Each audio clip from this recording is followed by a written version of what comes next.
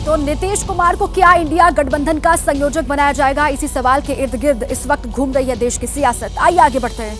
Hit and run कानूनों में बदलाव अब सरकार के लिए गले की फांस बनता जा रहा है। एक तरफ़ आंदोलन की वजह से आंदोलन की आग में देश के कई हिस्से, कई राज्य इस वक्त झुलस रहे हैं। तो वही आम लोगों के लिए मुसीबत और भी बढ़ती जा रही है। पेट्रोल पंप पर तेल की किल्लत से जूझ रहे लोगों की हाईवे पर उनको अब जाम का सामना भी करना पड़ रहा है। इसी पर देखिए खास रिपोर्ट।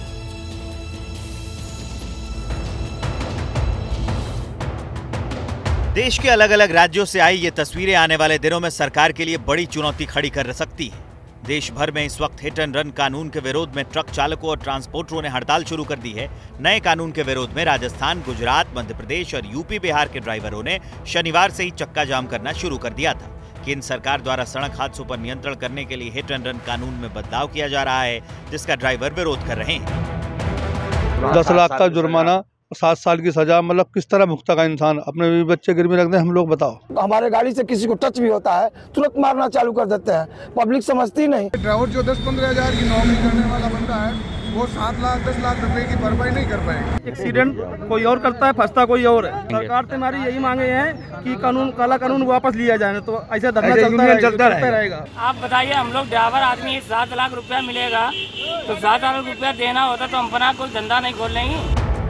अब जिस हिट एंड रन कानून का ट्रक ड्राइवर विरोध कर रहे हैं, जरा उसे समझ लीजिए, आखिरकार वो है क्या? हिट एंड रन कानून सड़क हादसों पर लगाम लगाने के लिए है। खासतौर पर हिट एंड रन के मामलों पर रोक लगाई जा सके। इसमें बिना हादसे की खबर दिए और फरार होने पर सख्त सजा का प्रावधान है। खबर दिए मौके से भागने पर सख्त सजा और बड़ा जुर्माना लगेगा। कानून को दो कैटेगरी में बांटा गया है। पहली श्रेणी में लापरवाही से ड्राइविंग हादसा हुआ और मौत की वजह ड्राइवर है। तो वो गैर इरादतन हत्या नहीं होगी। इसके लिए पाँच साल तक की जेल और जुर्माने का नियम है। दूसरी श्रेणी ड्राइवर की लापरवाही से मौत और मौके से फरार होने की इसमें आरोपी को पुलिस मजिस्ट्रेट को खुद ही हादसे की जानकारी देनी होगी। ऐसा न करने पर 10 साल तक सजा और 7 लाख का भारी भरकम जुर्माना लगेगा। बहुत ज़रूरी था कि ये कानून लाया जाए। जिससे कि पुलिस को कोई ऑप्शन नहीं रहे, बल्कि उसे नॉन बेलेबल ऑफेंस ही लगाना पड़ेगा। और जब 10 साल जैसी कड़क सज़ा का प्रावधान हो जाएगा तो नंबर वन ये जो एक्सीडेंट करते हैं, वो वहाँ से भागेंगे नहीं। वो पुलिस को इन्फॉर्म करेंगे विक्टिम को हॉस्पिटल ले जाएँगे। और साथ ही साथ जो है एक्सीडेंट के जो रेट है, वो भी कम हो जाएगा। तो मुझे लगता है कि ये जो ट्रक ड्राइवर्स स्ट्राइक पे उतरे हैं, चक्का जाम कर रहे हैं, वो सही नहीं है। क्योंकि ये लोग बहुत ही नेग्लिजेंट रैश ड्राइविंग करते हैं।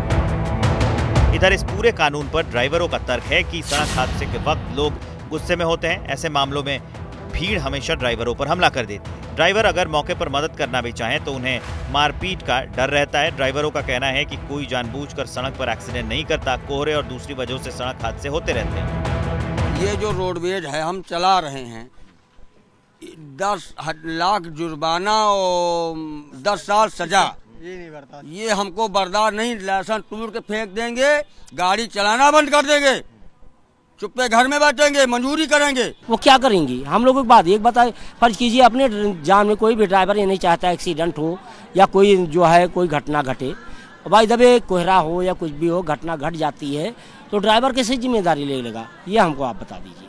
कह रहे हैं कि उनको छोड़ने जाओ जैसे कोई हादसा हो जाए तो मरीज़ को जो पेशेंट हो उसको लेके जाओ अस्पताल। अगर हम लोग अस्पताल छोड़ने जाएँगे तो पब्लिक हमको लोग को मार डालती, पीट डालती है। बस चालक हो या फिर ट्रक ड्राइवर हो, इसी सख्त प्रावधान से सब परेशान है। ये सोचकर कि सड़क पर गलती किसी की भी हो, गर्दन सिर्फ़ उसी की नपेगी, जिसके हाथ में गाड़ी की स्टेयरिंग हो। बहरहाल देश भर के ड्राइवरों के तेवर बता रहे हैं कि अगर हिट एंड रन कानून में बदलाव नहीं हुआ तो ये आंदोलन लंबा खिंच सकता है।